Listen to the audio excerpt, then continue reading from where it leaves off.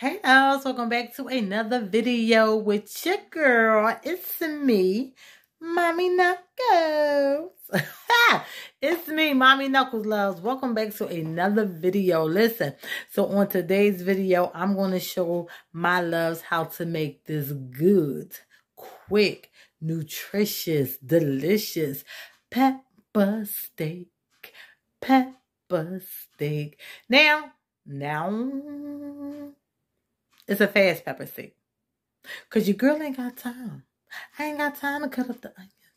I ain't got time to cut up the steak. I ain't got time for all of this. I work. I work. So I got to do it the way I could do it. You may make your pepper steak different. I'm going to make my pepper steak the way I make it. Okay, y'all. So stay tuned for this quick, nutritious, delicious, fast pepper steak dinner. All right, loves. Okay, loves. So these are all the ingredients you will need for your pepper steak. So I have the onion and pepper upside down. I have the onion and pepper blend because your girl just told you I ain't got time to cut up the onions and the peppers. Then I have the beef fajitas. Yeah, yeah, that's my steak, girl. It gets done. It gets good. Then I have the brown gravy mix, and I have the beef broth. I have a little yellow rice.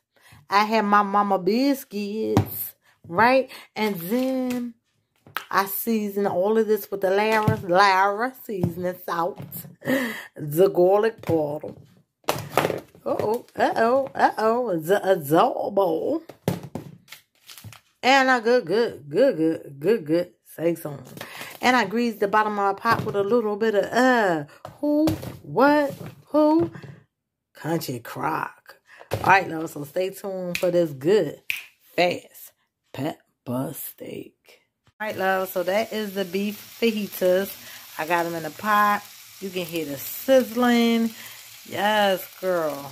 But watch. Watch how this come out. So that's the beef fajitas. I'll be back. Alright, love. So I know this angle is crazy, but my tripod just broke. And I'm going to get this video done, okay? We're going to get this video done. Alright, so while my beef fajitas is on and cooking, I'm going to put my Goya rice in this pot over here. I already added my butter. And I'm going to add my rice to this pot.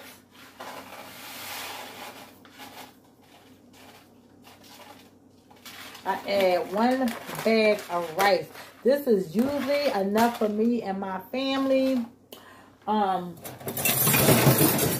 mm, making a mess. That's usually enough for me and my family, this bag of rice.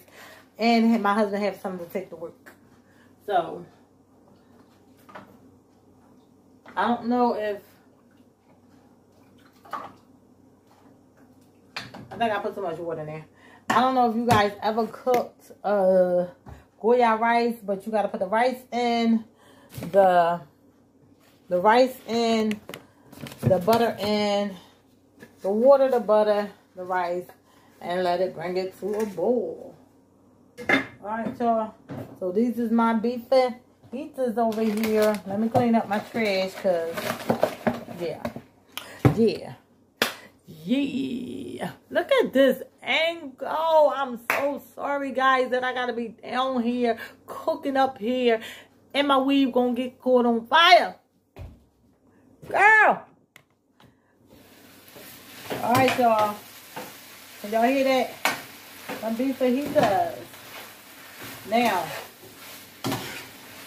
sometimes these pieces are big. So what I would do, right, because some of these pieces are big, I will take a knife, right, and I will cut them because they're big to make it more. Even though I used two bags.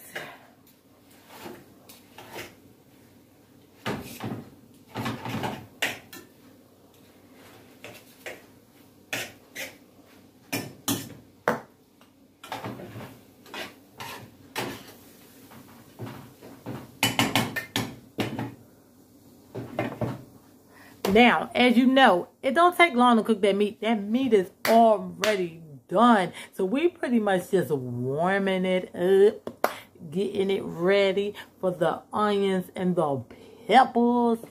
That's all we doing. That's what we doing. All right, guys. So now this is the part where I add my little, my little twist on it.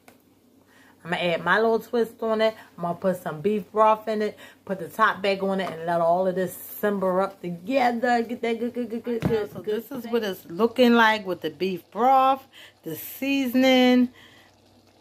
Yeah, this is what it's looking like so far. And now I'm about to add these onions and peppers. So here's the onions and pepper blend mix. I'm about to add it because I did tell y'all, right? I work I ain't got time to be cutting onions and I ain't got time to be cutting peppers. Yeah, I ain't got time. If you work, get smart. This is good. You better do it like this, girl, and get smart with your time. So I'm dumping the onions and peppers straight into the meat and the seasoning and the broth. And usually one bag does it for me. And like I said, I'm feeding a family of five. And it still be enough for my husband to take to work and a little bit for the next day. So one bag used to be, onions and peppers used to be enough for us. So, I'm going to show you guys what it looked like in just a minute. All right, love. So this is what it's looking like. You can see the peppers and the onions. I got red peppers, green peppers, and onions up and through that thing right there, honey. This is a good time, good time. Yeah, good time. Y'all see that? Mm. Mm, mm, mm, mm, mm, mm, mm, mm.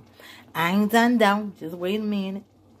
All right, love. So you seen the peppers, the red peppers, the green peppers, the onions, all up in that meat like that all up in that meat. So listen, I am about to add a little bit more beef stock and my brown gravy. Have a good time, good time, yeah, good time, good time. I got my rice on and I'm about to throw my mama biscuits up in so, So I just added a little bit more beef stock, beef broth, my bag, beef broth, stock, same thing. And now I'm going to add um these two packs of brown gravy mix. I'm two. Oh gosh, I'm making a mess. Just sprinkle it in there. And then I like to stir it up. It'll help it get, it'll help the beef broth thicken up. And if two packs ain't enough, you can always add three. Usually, usually two packs be enough though. But if not, depends on how much broth was added. You can always add um, the third pack. But, yeah, two usually do it. It usually do it. So, I'm going to let this simmer.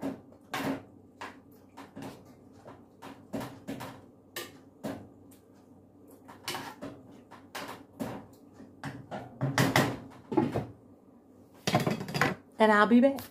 All right, love. So that is how your girl put the pepper steak and rice together. Yes.